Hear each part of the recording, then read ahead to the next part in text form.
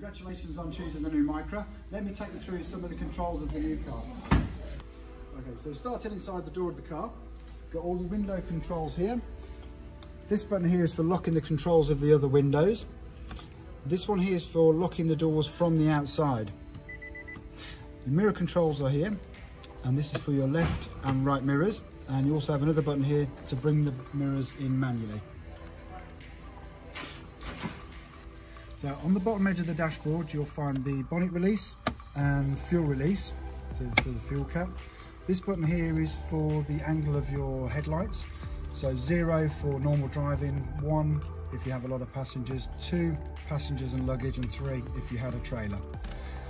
This button here with the lane markings uh, on the Micra will activate the lane departure intervention to prevent you from accidentally gliding over the white lines. The button with the auto off, that is for your start stop technology.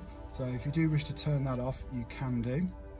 These buttons here are for the light within the dashboard, so you can turn them up and down. And you also have your trip reset for your, if you want to measure your journeys. On the steering column, we have the windscreen wiper lever.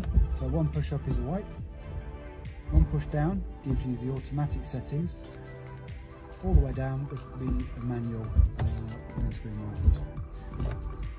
This colour here is for the sensitivity of the automatic setting and this end piece is for the rear wiper, intermittent and full and to jet water on the windscreen, pull back and the rear windscreen, push forward.